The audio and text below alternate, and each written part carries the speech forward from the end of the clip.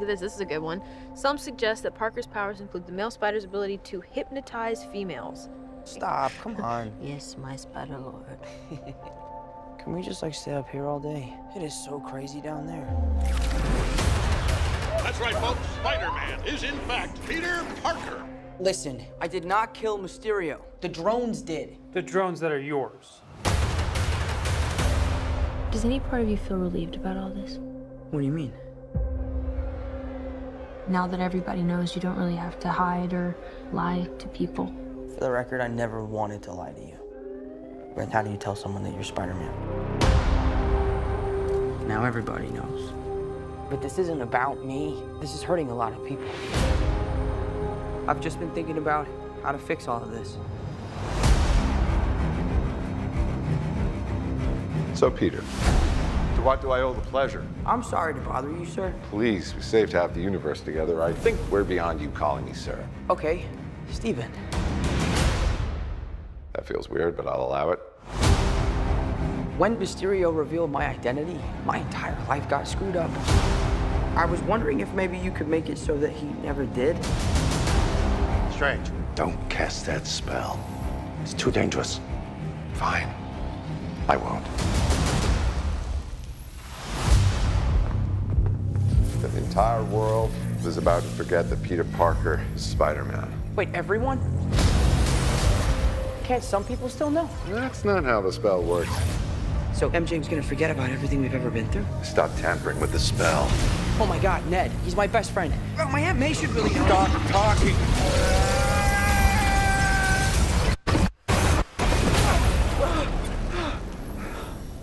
What just happened? Tampered with the stability of space-time. The multiverse is a concept about which we know frighteningly little. The problem is you trying to live two different lives. The longer you do it, the more dangerous it becomes.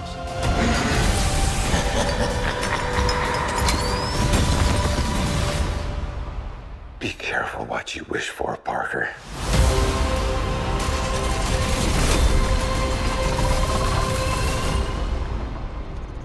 Hello, Peter.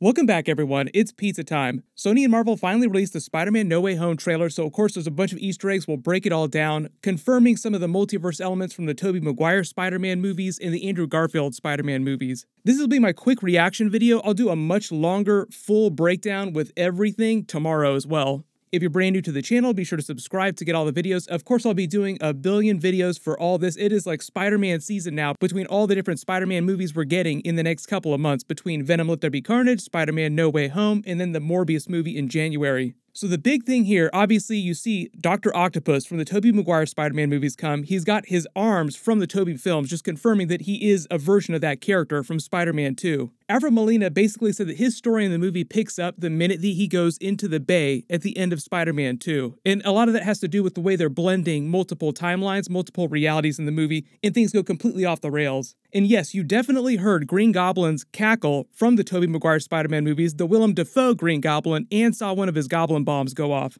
confirming the rumors that he is going to be one of, if not the main villain of the movie, pulling together the multiverse version of the Sinister Six. Obviously, there's also the electrical blast for Jamie Foxx's Electro character. That's just a sign of him during the movie.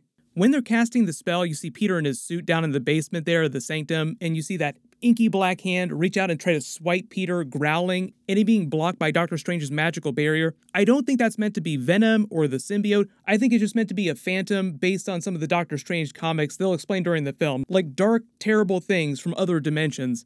Some of their costumes look a little bit different, and I've already done a video about all of Spider-Man's new costumes, but the other big Easter egg that a lot of you longtime Spider-Man comic book readers will recognize is that they're basically doing the entire plot from Spider-Man One More Day. It was a very controversial storyline because a lot of people just absolutely hated it because it was basically Mephisto, yes, that Mephisto, retconning Spider Man's life with Mary Jane. During that version of events, Aunt May died because of the events of their version of Civil War. So Spider Man goes to Doctor Strange and asks for a solution. Can you bring her back to life? Doctor Strange says, There's no way I can do this. So obviously, Spider Man going to him during this, like he sees the Halloween decorations with the little witch hat and is like, Oh, yeah, I know, wizard. I'll go to Doctor Strange. Here's the multiverse connection though. When Spider Man in the comics eventually went to Mephisto, really it was Mephisto trying to manipulate him, Mephisto gives him a multiverse explainer. Like there are other timelines out there where you didn't become Spider Man, where your loved ones that are dead in this reality are still alive. So we can mix and match those so that you get them back.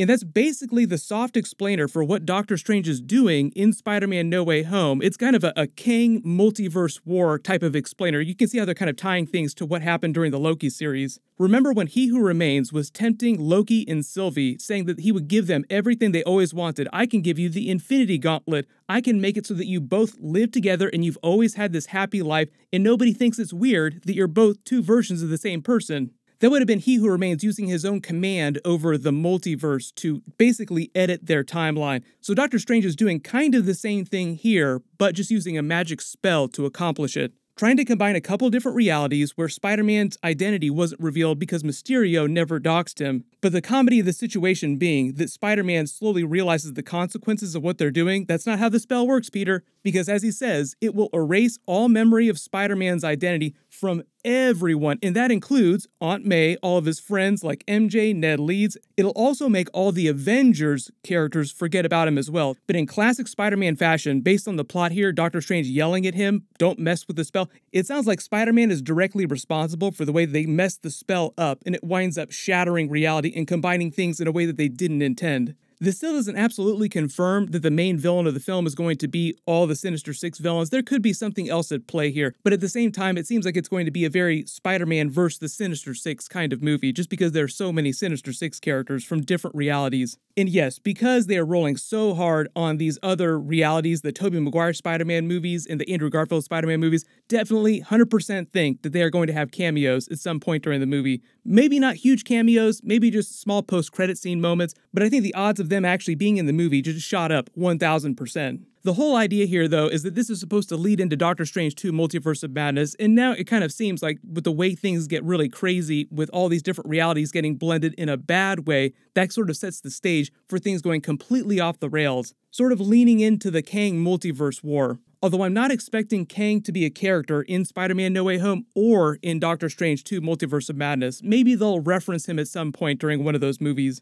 But I don't think he's going to be a really big villain until we get to Ant Man 3 Quantumania. It's just a lot of dialogue from Doctor Strange is basically giving us an explainer similar to what we got in the Loki series. A lot of what he's talking about sounds exactly what they were talking about on the Loki series. We know very little about the nature of the multiverse and how everything works. Everyone who's not named Kang the other big thing you probably noticed in this is that we actually do get a look at him in the black suit. There are a couple different suits during the movie just based on some of the materials that we've seen. The black one, it just seems like they're calling the black and gold suit. But the web shooters he's got look very Doctor Strange inspired. And a lot of the materials that we've seen based on this suit seems like he uses magic when he's wearing this suit. Like it somehow integrates Doctor Strange's magic with aspects of the suit. We also finally get an explainer for what's going on in all those first look pictures that we got earlier with the snow covering the interior of the sanctum. And I love the way that Wong and Doctor Strange are walking around in the sanctum like it's no big deal, like they're walking through giant snow drifts inside the middle of the living room here. And no spoilers for Shang-Chi and the Legend of the Ten Rings because Wong does show up in that movie before he shows up in this movie. So I'll talk more about what's going on with him during that movie once it gets released in theaters next week.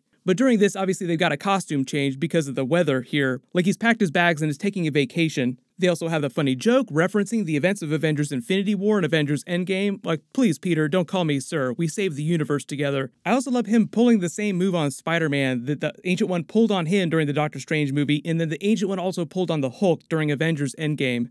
And I think part of the idea here, too, putting some of the blame on Doctor Strange for what happens with them breaking the multiverse, so to speak, is the writer of Doctor Strange 2 said that around this period, Doctor Strange is sort of riding high. He's the most powerful that he's ever been. He's just defeated Thanos with the help of the Avengers. So it sounds like a very Iron Man, Tony Stark kind of problem. Like you also help create a lot of the problems that you wind up solving. It's the same idea with Avengers Age of Ultron and the creation of Ultron. Tony Stark thinking that he could protect the world by covering it in a suit of armor, and that leading to the creation of Ultron. Doctor Strange thinking that he's powerful enough to help erase Peter from people's minds or erase knowledge that he's Spider Man from people's minds, and it just going wildly off the rails because, as Wong says, he shouldn't even attempt that spell. But I do love the way that they're trying to tie all this stuff together. Like now it's starting to make sense how everything is coming together. But if it wasn't clear how the Sinister Six villains wind up in this reality, in the main MCU reality, it's because of the way they combine alternate timelines, alternate realities. And now the title, Spider Man No Way Home, makes a little more sense. Like the home in the title, No Way Home, for Peter is a reference to the home that he knew before they changed everything, where everybody knew who he was. Like he had this relationship with MJ. In One More Day, comic book explainer, what they do completely erases that. So at least part of the movie is going to be him having to go back and try to explain to all of them who he is. And I think part of the idea with the Sinister Six villains, for them, the title means no way home. If they were to go back to their home universes or find a way to go back, then they would also go back to being dead. Because, like, for instance, Dr. Octopus is supposed to have died at the end of Spider Man 2. So, them messing with the alternate timelines in the multiverse basically brings them back to life, so to speak. Same thing for Willem Dafoe's Green Goblin character. He died at the end of the first Spider Man movie. I think what'll probably happen though when we get to the Tobey Maguire and the Andrew Garfield of it all, they'll try to hold that really close to the vest. But you can see if they're bringing these other villains from those universes to this main MCU universe, that's basically the explainer for how Tobey Maguire winds up in the movie and how Andrew Garfield Spider Man winds up in the movie. There have been so many rumors about what they're doing in the film. Like I said, I'm really just expecting small cameos, like really small moments from them. For a lot of you that are asking about the WandaVision Easter egg, so in WandaVision Episode 1, there's a date on the calendar that they circle with a heart that says August 23rd. So people are like, wait a minute, that's the day they're releasing the trailer. Did WandaVision predict the Spider Man No Way Home trailer? The truth is is that it just wound up being a coincidence. It's a really cool coincidence because they'd originally intended on releasing Spider-Man No Way Home during summer during 4th of July weekend like they always do, so we would have gotten the trailer long before August 23rd. So it wasn't so much that WandaVision was predicting the trailer release, but the bigger August 23rd connection that you could make, you could say is an even bigger coincidence, is about the two year anniversary of when Spider Man left the MCU for a brief period. That's right, you might remember a couple years ago, it's been a hot minute, Sony and Marvel had a little falling out, and for a very short period, they took Spider Man out of the MCU, like no more Spider Man movies. We are around the two year anniversary of that date, so I think that's one of the reasons why they chose to just hold the trailer till now.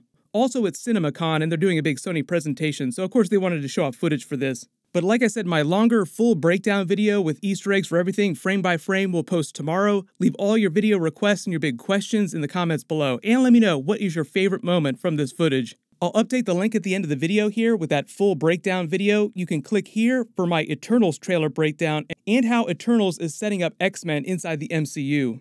Thank you so much for watching, everyone stay safe, and I'll see you in the next video.